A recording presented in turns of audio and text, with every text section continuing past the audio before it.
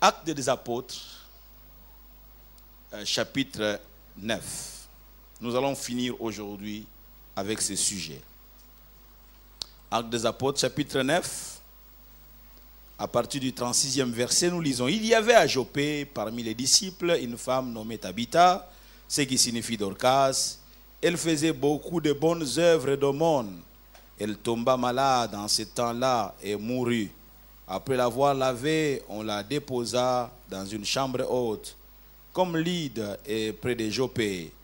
Les disciples ayant appris que Pierre s'y trouvait, envoyèrent deux hommes vers lui pour le prier de venir chez eux sans tarder. Pierre se leva et partit avec ses hommes. Lorsqu'il fut arrivé, on les conduisit dans la chambre haute. Toutes les veuves l'entourèrent en pleurant et lui montrèrent les tuniques et les vêtements que faisait Dorcas pendant qu'elle était avec elle. Pierre fit sortir tout le monde, se mit à genoux et pria. Puis, se tourna vers le corps, il dit, Tabitha, lève-toi. Elle ouvrit les yeux et ayant vu Pierre, elle s'assit. Il lui donna la main et la fit lever. Il appela ensuite les saints et les veuves et la leur présenta vivante. Cela fut connu de tout Jopé et beaucoup crurent au Seigneur. Pierre demeura quelque temps à Jopé chez un corailleur nommé Simon. Quelqu'un dit Amen. Ce texte nous, nous présente beaucoup de leçons. Beaucoup de leçons, même la leçon sur la prière, l'importance de croire en la prière. je crois que le verbe ici ont cru que si nous faisons venir un homme de prière, cette personne, cette veuve, que dis cette personne de, de Dorcas reviendra à la vie. Elles ont cru à la force de la prière. J'aimerais, dès l'entrée du jeu ce matin, te rappeler ou t'encourager encore à avoir une vie de prière. La prière peut te donner, au fait, l'impression que sur le champ, rien ne s'est passé, mais qu'en réalité, les choses se sont passées. Vous savez, Dieu a, plusieurs manières de nous exaucer et a plusieurs façons de le faire et il le fait en son temps. La prière peut avoir agi à l'instant même, mais tu ne vois rien. C'est avec le temps que tu verras l'accomplissement de ce que tu as demandé à Dieu. Jésus a dit, tout ce que vous demanderez en priant, croyez que vous l'avez reçu et vous le verrez et vous le verrez s'accomplir. Ne négligez pas la prière. Beaucoup d'enfants de Dieu, on se nomme enfants de Dieu, mais la prière, on trouve la prière comme si c'était un corvée. Ça devient quelque chose de pesant. C'est difficile. Quand on veut prier, on dirait que bah, on, a. C'est comme si on a blessé quelqu'un.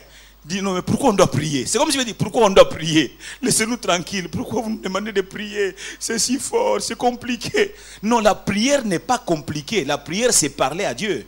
Je peux parler à Dieu de tout, de rien, de mes faiblesses. Je lui parle. Et tu t'étonnes de manière que sujet après sujet coule. Et une heure, tu es là en train de parler à Dieu. Deux heures, tu es là en train de parler à Dieu. Et tu te demandes comment je fais. Non, mais c'est ça. La prière, c'est une conversation. C'est un dialogue entre Dieu et toi. C'est un dialogue. Et pourquoi tu trouves ça si compliqué que de prier? La prière, c'est simple, bien aimé dans le Seigneur.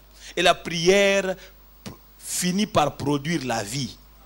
Et nous disons ici que la prière change le cours de l'histoire. Je t'exhorte à prier. Et je ferme cette parenthèse. Je voulais dire que tes œuvres plaideront en ta faveur. Elles ont comme mission de défendre ta cause. Tes œuvres te qualifient. Elles donnent aux gens de se faire une idée de toi, tes œuvres. Elles donnent aux gens de se faire une idée de ta personne. Comment connaîtrons-nous que cet arbre est bon ou mauvais? N'est-ce pas, à son fruit Le Seigneur a dit, vous reconnaîtrez chaque arbre à ce qu'il produit comme fruit. Vous reconnaîtrez chaque arbre à ce qu'il produit comme fruit. Disons que la femme chrétienne ou l'homme chrétien est sauvé par le Seigneur, non pour croiser les bras, mais pour servir son maître. Il doit servir son maître.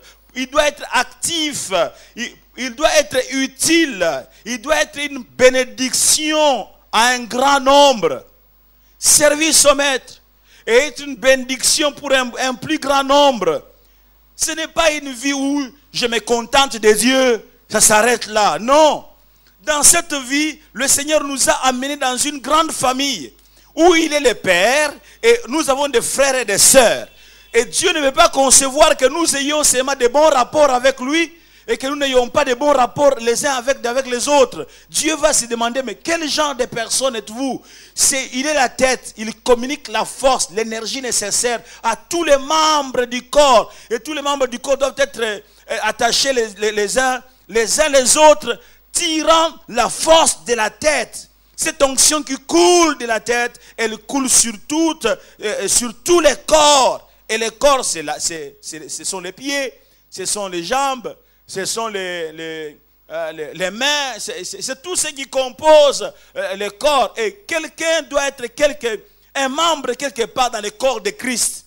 Et nous devons, bien aimer, savoir que nous sommes sauvés, non pas pour croiser les bras, mais sauvés pour pouvoir servir le Seigneur et être une bénédiction pour un plus grand nombre.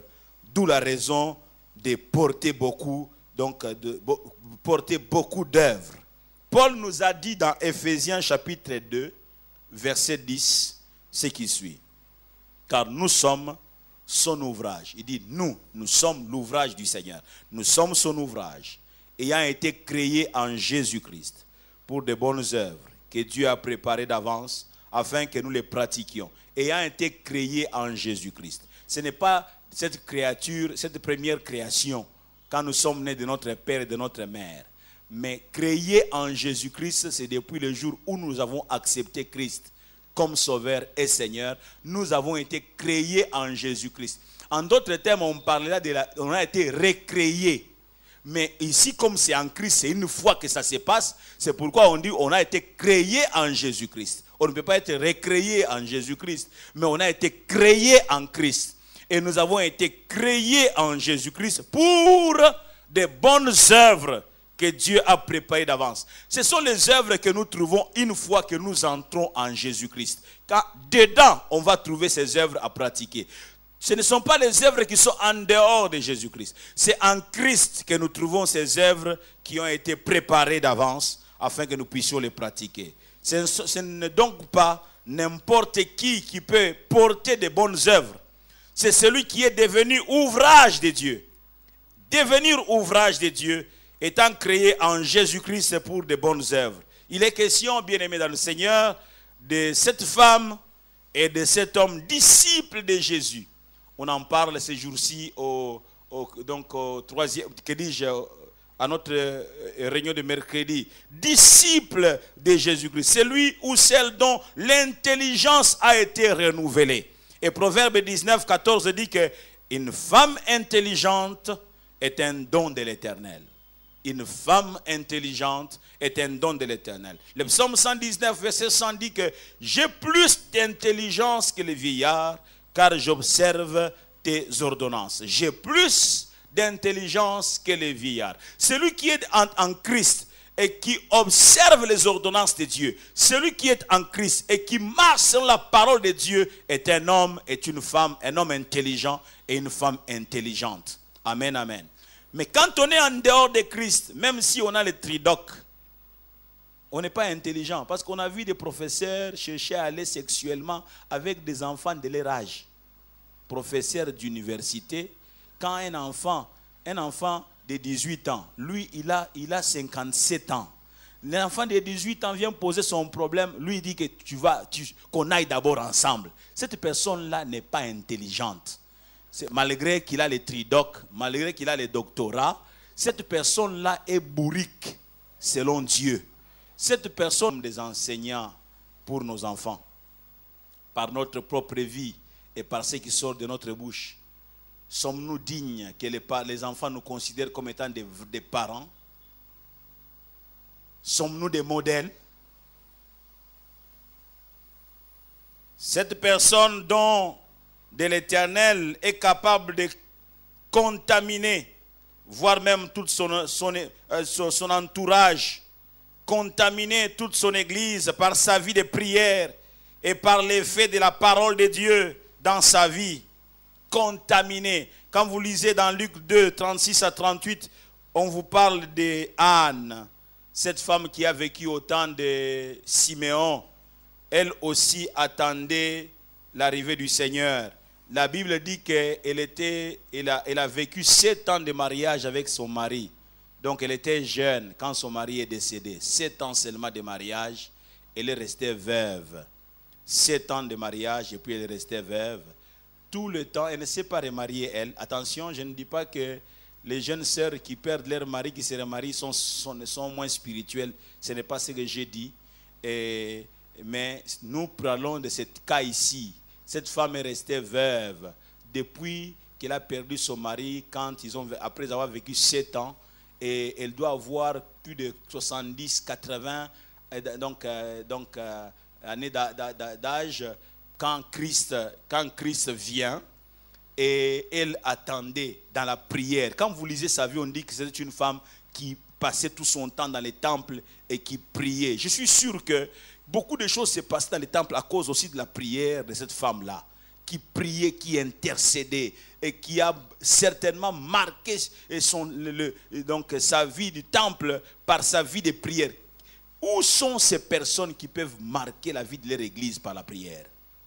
Même quand les pasteurs n'est pas au courant, mais elles, elles savent dans leur cœur qu'elles sont établies par Dieu, intercesseuses, intercesseurs dans la maison de Dieu, priant. Je n'ai pas besoin que les hommes savent que je suis en train de prier pour l'église. Je prie pour mon pasteur. Je prie pour que les choses puissent marcher. Je prie pour qu'alors que nous sommes en train de chercher à construire, que Dieu nous donne les moyens. Y a-t-il des gens dans, dans l'intimité personnelle avec Dieu et qui marquent la vie de l'église? Et cette personne-là a sûrement marqué la vie de l'église et au point que des années, des années plus tard, on continue à parler de Anne. Jusqu'aujourd'hui, ne sommes-nous pas en train de parler de Anne? Qu'est-ce que nous sommes en train d'évoquer là? Nous sommes en train d'évoquer l'œuvre qu'elle a eu à poser, à laisser derrière elle. Cette Anne de Luc euh, au, chapitre, au chapitre 2. Cette femme, quoique morte maintenant, ses œuvres parlent encore jusqu'aujourd'hui. Alléluia. Nous avons dit que Tabitha a signifié la gazelle.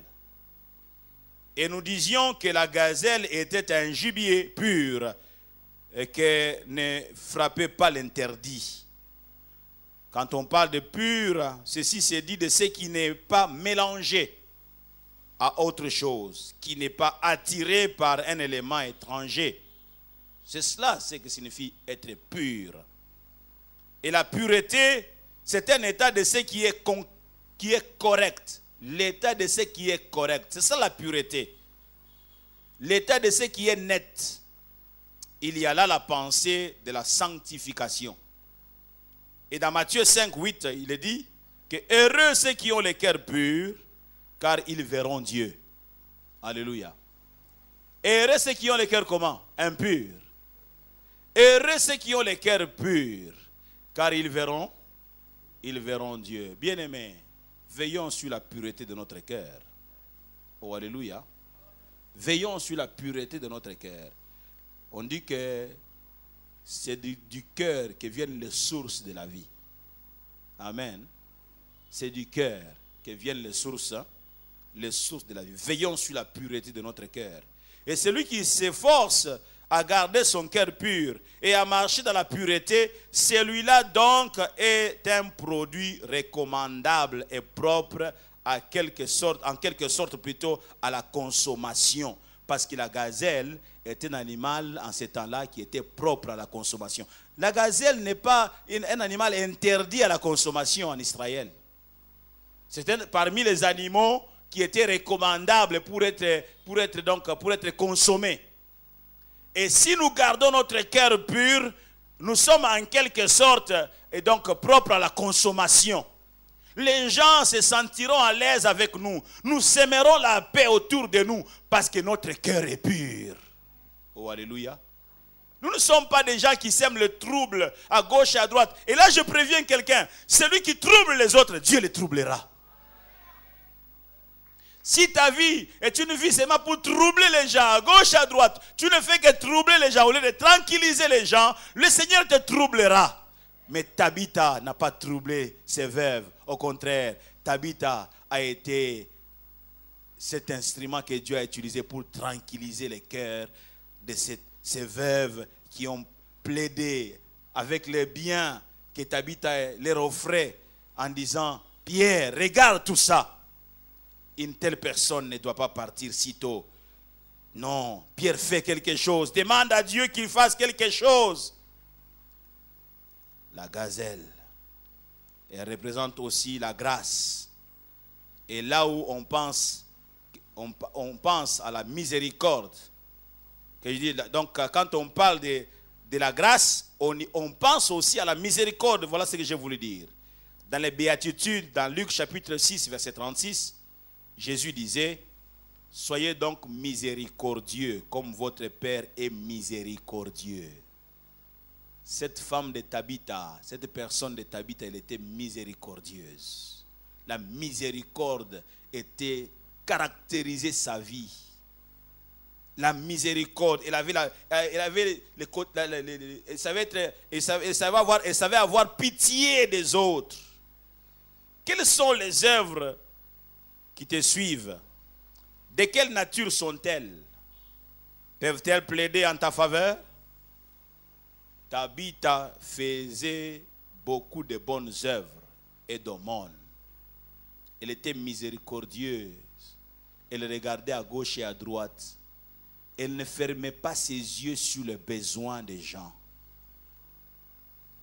Quand on voit quelqu'un dans les besoins, on se retourne vite pour ne pas avoir une conscience chargée. On se retourne vite. Ou bien pour que la personne ne nous voie pas, qu'elle ne puisse pas nous poser son problème. On se retourne vite. Ce n'était pas le cas de Tabitha. Tabitha avait un cœur qui souffrait pour les autres. Un cœur qui savait voir le besoin des autres. Un cœur qui n'attendait pas qu'on lui présente un besoin. C'était, Tabitha, c'était le genre de personne qui savait voir tout de suite que là, il y a un besoin.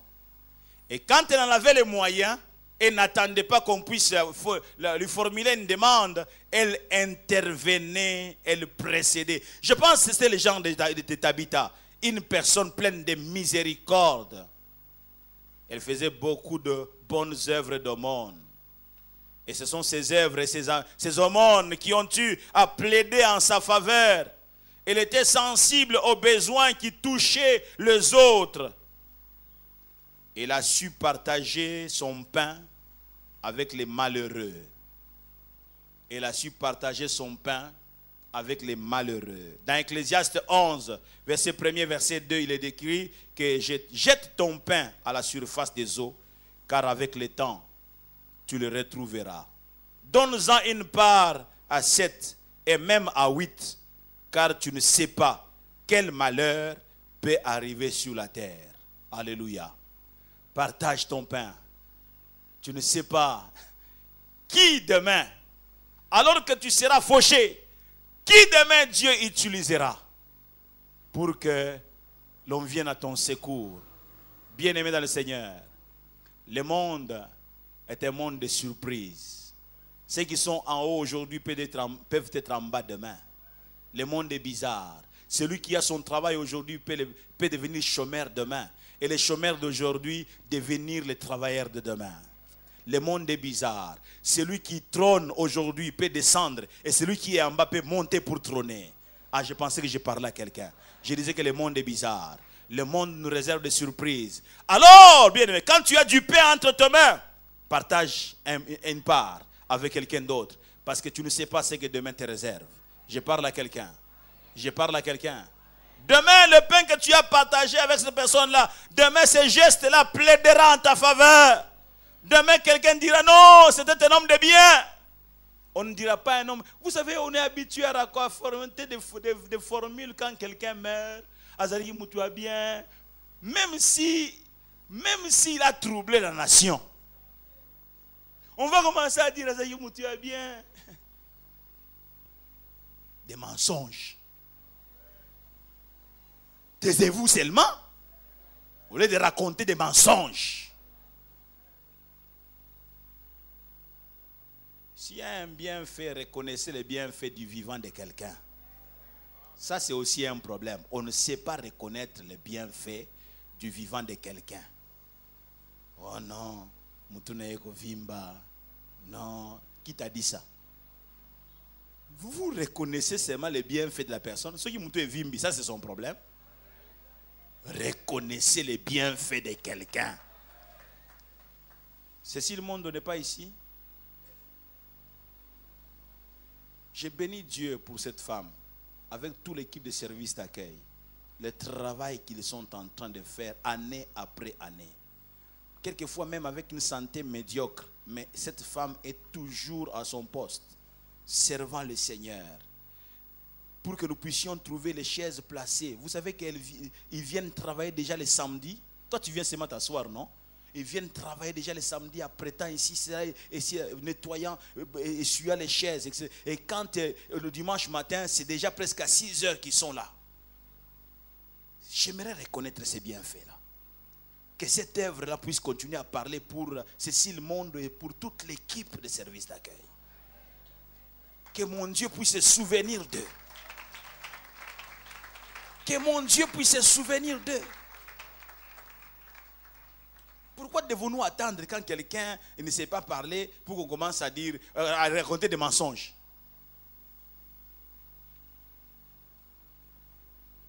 Oh, Amen, Amen. Tabitha, si elle est revenue à la vie, ce sont ses œuvres qui ont plaidé. Oh, Alléluia. Alléluia. Frère, tenez compte de ces messages. Tenez compte de ces messages, je vous en supplie.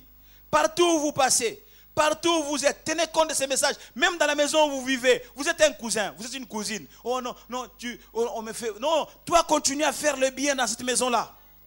Je parle à quelqu'un? Jeune fille, continue à nettoyer les assiettes, continue à faire le bien. Ne rends pas le mal par le mal.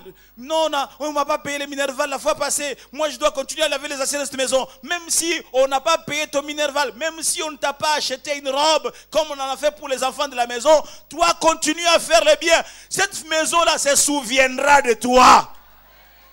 Quand tu seras parti, dis non, non, non, non, non. Cet enfant nous a marqué, malgré le mal qu'on avait fait contre elle, mais elle a continué à poser des bons actes, des bons, actes, poser des actes, bien aimés. Qu'est-ce qu'on dit un acte, n'est-ce pas? Poser des bons actes. Et vous allez voir que même si aujourd'hui on ne le reconnaît pas, demain on va le reconnaître. Amen, amen. Il ne faut pas laisser de mauvaises choses derrière toi. Et puis tu commences à dire, souvenez-vous, vous, n'avez pas vu les œuvres que j'ai fait. Quelles œuvres tu as fait On va se souvenir de quoi maintenant? Il y a quoi? Hmm? Pose des actes. Des actes qui restent. Qui durent comme du roc. Quand tu, même tu n'as même plus besoin de parler. Les gens, quand ils regardent, ils disent, hmm, regardez ce qu'il a fait. Mais il ne faut pas que quand tu as dit, on regarde, il n'y a plus rien. Qu'est-ce que tu as posé comme acte derrière toi? Et Tabitha n'était pas là. Mais les actes étaient là. Les œuvres étaient là, du solide. Bien aimé, recherchez l'excellence dans ce que vous faites. tu ne m'as pas suivi. J'ai dit recherchez l'excellence dans ce que vous faites. Ne soyez pas médiocre dans vos œuvres. Posez des actes solides. Et quand vous êtes parti, même quand les gens cherchent à, déboulonner cela, ils ont du mal, ils, ont des, ils vont avoir des ampoules dans les mains. Parce que ton œuvre est tellement solide que c'est impossible de déboulonner l'œuvre. Oh, amen, amen. Soyez conséquents.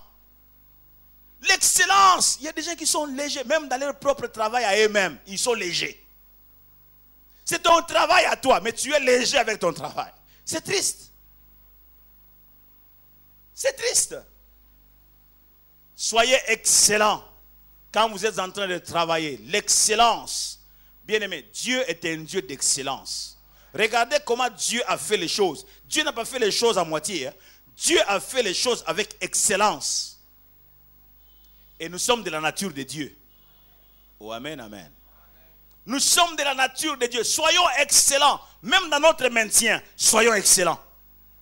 Le maintien de ton corps. Bien aimé, vous savez-vous que la santé, la, propriété fait partie de la santé, soutient la santé?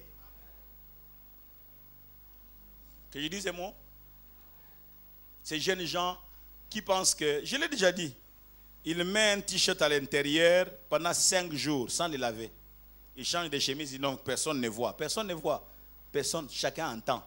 Il dit sent, sent l'odeur. Tu dégages une mauvaise odeur.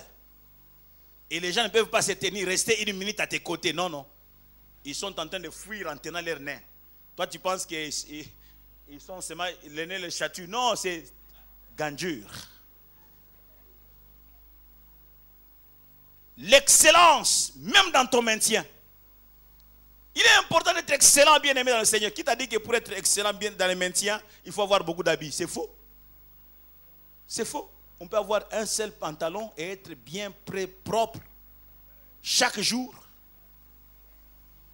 Recherchez l'excellence dans ce que vous faites. Recherchons l'excellence, bien aimé dans le Seigneur. Dans le ministère, tu es appelé au ministère. Il faut rechercher l'excellence. L'excellence en tout et pour tout. Et je puis m'imaginer que cette femme était excellente dans tout ce qu'elle faisait. Tabitha, Alléluia. Oh, Alléluia. Combien il est important pour nous de laisser des empreintes et des traces qui rappellent constamment aux autres que nous avions réellement, que nous avions eu quelqu'un avec nous, quelqu'un de grande valeur. Savoir laisser des traces, laisser ces marques indélébiles qui ne laisseront personne indifférente, personne indifférente. Savoir poser des actes qui parlent de, les actes qui parlent d'eux-mêmes, des actes qui ne peuvent être facilement effacés. Les œuvres sont comme la, progéniture, bien-aimé. La progéniture, la descendance de quelqu'un. C'est par elle qu'on se souvient de quelqu'un, n'est-ce pas? La descendance. C'est par elle qu'on Il suffit de voir, qu'on voit au bête quelque part, on dit, mais tiens, toi tu es le fils de Kali Il dit, oui, oui, oui. Mais oui, tu n'as pas besoin de te présenter parce que je vois vraiment Kali ici. Amen, amen. Et ainsi tes œuvres peuvent te représenter valablement. Tu n'es pas là, mais tes œuvres parlent encore. Je parle à quelqu'un. Je parle à quelqu'un. Tes œuvres peuvent parler, continuer à parler, bien-aimé dans le Seigneur. Recherchons ce genre d'œuvres. Et par exemple aussi, ce qui s'est passé avec euh, donc l'histoire de Marc 14. Dans Marc 14, on nous parle de cette femme qui est venue avec son parfum de, grand, de, grand prix. Un parfum de nard, de grand prix. L'on estime les prix à un, donc, euh, un salaire euh, d'un ouvrier moyen, un salaire annuel, les prix de, cette, de, cette, de ces c'est il faut qu'un ouvrier moyen ait travaillé pendant un an sans toucher à son salaire pour avoir l'argent pour acheter ses parfums. Et cette femme est venue à briser, et si cette bouteille, n'a pas ouvert, mais a brisé la bouteille et a laissé les parfums couler sur tout le corps, la tête de Jésus-Christ.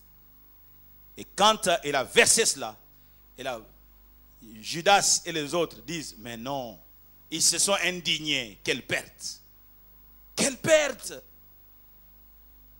On aurait pu vendre ces parfums et donner les produits de vente aussi à qui? Et on donne l'impression d'avoir euh, pitié des pauvres, n'est-ce pas? Alors qu'en réalité, la Bible l'a dit, il ne se souciait pas des pauvres. C'est parce qu'il voulait que cet argent entre dans la caisse. Comme ça, lui, il était en train de, il volait, il soutirait de l'argent. Il ne se souciait pas des pauvres. Et Jésus va dire, laissez-la, la, pourquoi lui faites-vous de la peine? Elle a fait une bonne action. Nous sommes dans Marc 14, verset 6. Jésus dit quoi? Elle a fait une bonne action à mon égard. Et au verset 9, Jésus dit, je vous l'ai dit en vérité, partout la bonne nouvelle sera prêchée dans le monde entier on racontera aussi en mémoire de cette femme ce qu'elle a fait. Ce que tu fais ne tombe pas dans les oubliettes. Ce que tu fais, quelque part, on évoquera cela. Je parle à quelqu'un. Bien aimé, qu'est-ce que nous laissons derrière nous comme œuvre? Ils ont dit à quoi bon perdre ces parfums.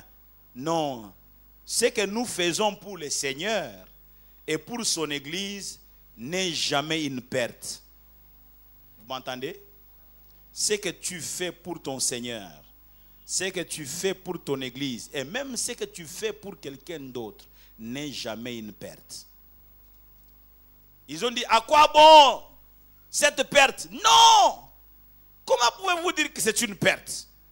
Ce que nous faisons pour Dieu n'est pas une perte, mais plutôt un gain. Un gain. Ce que nous faisons pour le Seigneur est un gain. Bien aimé, tu ne sais pas quand est-ce que cela va te retourner. Alléluia. Et quand vous lisez dans 2 Rois 4, vous avez l'histoire de cette femme, la, la tsunamite, cette femme de, de distinction. Élisée, je crois, avait l'habitude de passer par là. Et là, il est temps d'attirer Élisée de chez elle. Il dit non, chaque fois que tu passes par ici, j'aimerais que tu viennes manger chez nous. Et Élisée passait là. Mais un jour, le fardeau est monté d'un cran. Elle va dire à son mari en disant que je sais que cet homme est un saint homme de Dieu. Amen. Mais construisons pour lui une chambre haute. Qu'est-ce qu'elle demande? Qu'on construise quoi?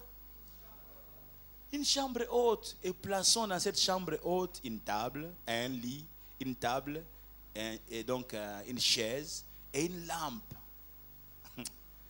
Elle est en train de trouver la solution aux besoins de l'homme de Dieu.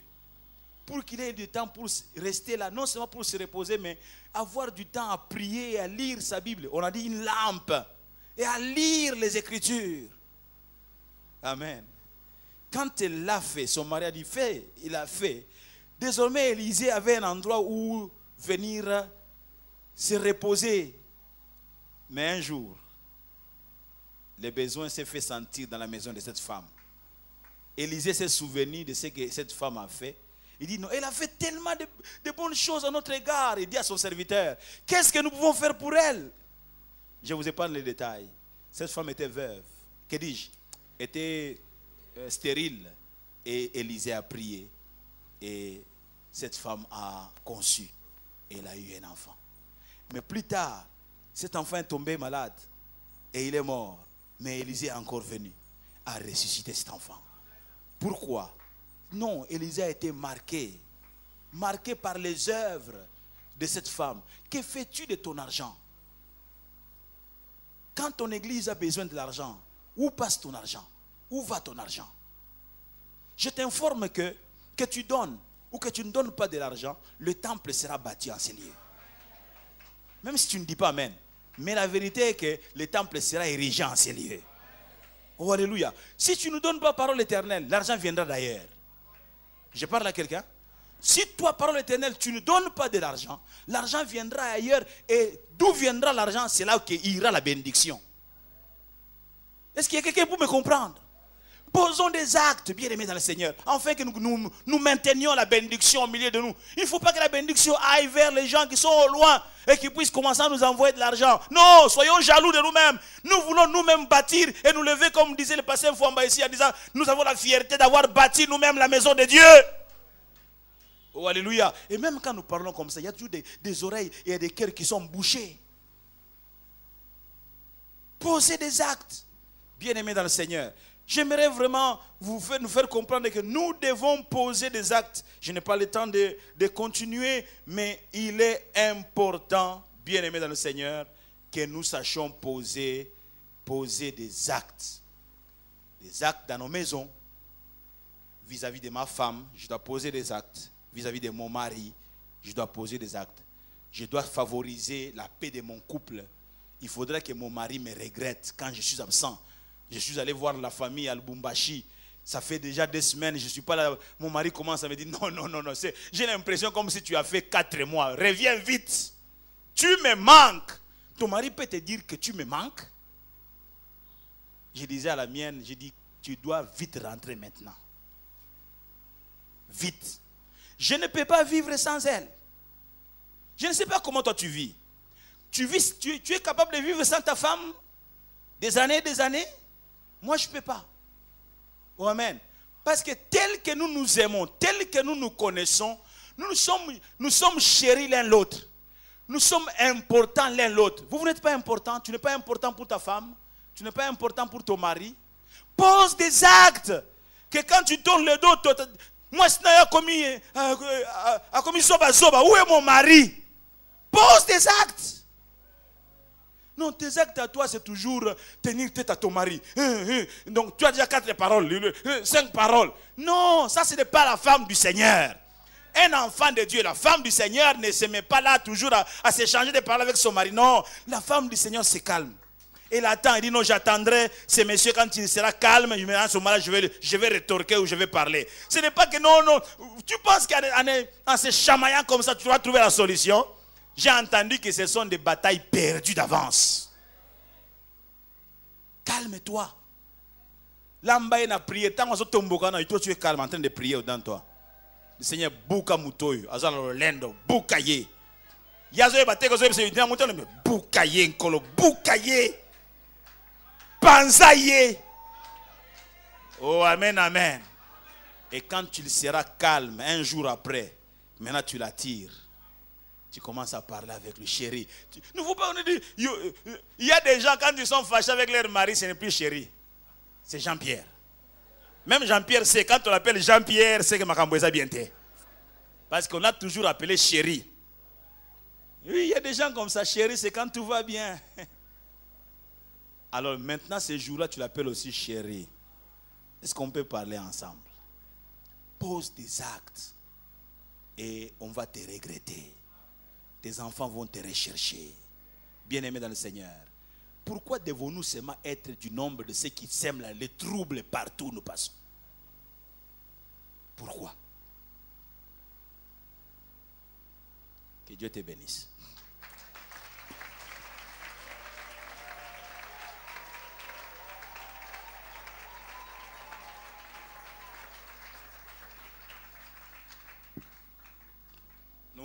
Terminons ce programme. Nous courbons nos têtes dans la prière. Éternel, merci de nous avoir accordé ce temps. Moi, j'ai euh, fait ce que je pouvais faire. Peut-être maladroitement, j'ai apporté ce message. Mais toi, tu parles mieux que Kali. Communique la vie. Même au cœur le plus endurci, communique la vie. Fais-nous du bien au nom de Jésus. Amen. Dieu soit béni. Nous n'avons pas beaucoup de temps. Nous sommes même en dehors du temps.